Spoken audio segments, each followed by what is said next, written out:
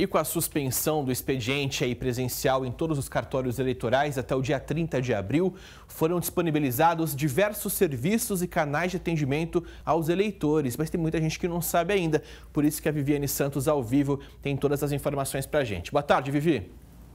Boa tarde, Casa Grande. Boa tarde a todos que nos acompanham. Olha, é isso mesmo. Alguns serviços poderão ser feitos pela internet. Quem vai falar melhor sobre esse assunto com a gente é a Fabiana Camargo, que é chefe de cartório. Fabiana, boa tarde. Quais os serviços disponíveis no site do TRE?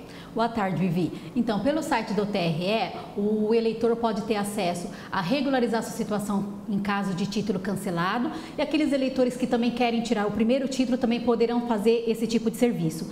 Além disso, também estão disponíveis certidões, como certidão de quitação eleitoral, certidão de filiação, partidária, de composição partidária, pesquisa ao local de votação, sessões, vários serviços também e pagamento de multas para aqueles que não votaram nem justificaram nas últimas eleições. E o que o eleitor deve fazer para ter acesso a esses serviços? Ela vai mostrar para a gente, Casa Grande, ó. Pode mostrar, Fabiana. Então, no site do TRE-sp.jus.br, o eleitor conseguirá todas as informações. É fácil, já na página principal, ele vai aqui, onde está atendimento emergencial.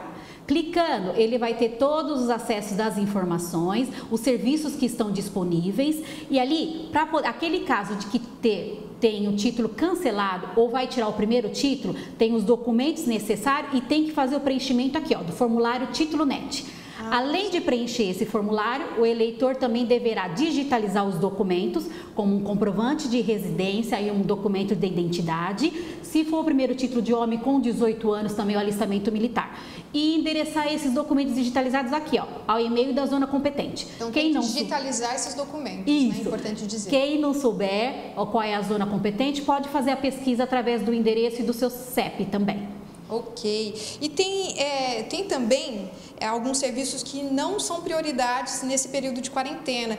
Quer exemplificar alguns desses serviços? Então, o eleitor que precisar somente de uma segunda via do título pode baixar o aplicativo e-título, terá esse documento no formato digital, ou esperar o atendimento presencial nos cartórios eleitorais. E a gente sabe, Fabiana, que a biometria está suspensa, né? E o prazo continua sendo dia 6 de maio, o prazo final, né? Ou seja, quando acabar a quarentena, dia 30, vai ter um período muito curto aí para o eleitor. É isso mesmo? A, do, a, orientação que nós temos do tribunal, a nossa suspensão de atendimento presencial vai até dia 30 de abril. Ainda nós não sabemos se retornaremos sim no dia 1 de maio.